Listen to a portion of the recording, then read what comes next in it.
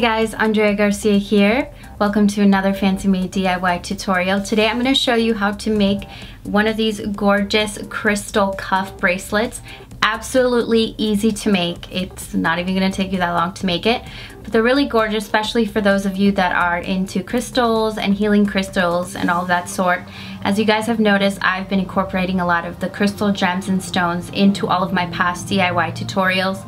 If you want to read up more on crystals and the healing properties that they have, I suggest that you do. I have a little bit of blurb on that on my blog as well if you guys want to find out and get down with the crystals. But even if you're not down with the crystals, um, they are still very gorgeous jewelry pieces as you can see here. This cuff was very, very easy to make. I had a lot of my crystals hanging around, so I figured I would use them to do something else with a little jewelry piece. So yeah, let's go ahead and get started with the tutorial. For this tutorial, you need the following materials. You want to start off with your trusty E6000 glue, also a variety of different clusters of crystals. I found all of these clusters, different colors, at Michael's Craft Store. I will provide links to some other online shops.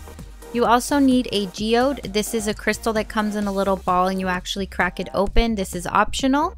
A little tool, a rock, and of course a cuff. I bought this at Michael's. It was two for one. This is Bead Landing brand, but you can use any cuff you'd like.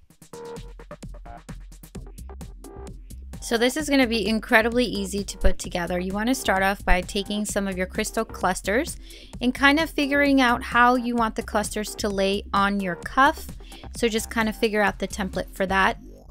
And once you have your template in place, as you can see, this is the order that I want it to go on my cuff.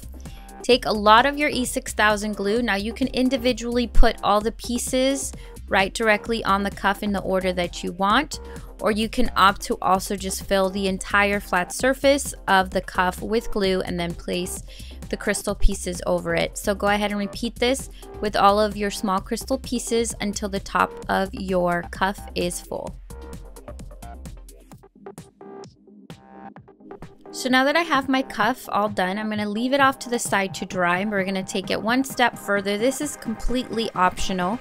Now this is a geode. This is a crystal that comes in a round ball. I already cracked mine open and using the end of a flat screwdriver and a little rock, I'm going to kind of bang it a little bit on the inside to get a lot of these crystal clusters out.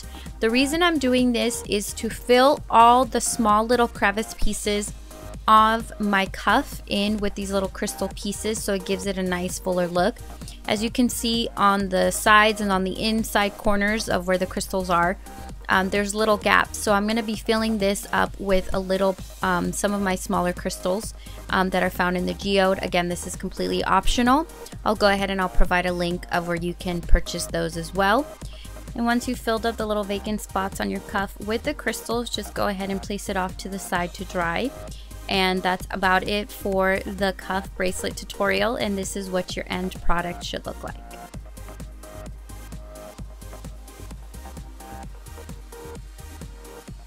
And that's it for the tutorial. Hopefully you guys enjoyed it. As you can see, this was very easy to make and they're absolutely gorgeous and stunning. Um, but yes, I went ahead and I created a Pinterest board with a few more samples of inspiration for these bracelets if you guys need a little bit more visual inspiration when you're making your own.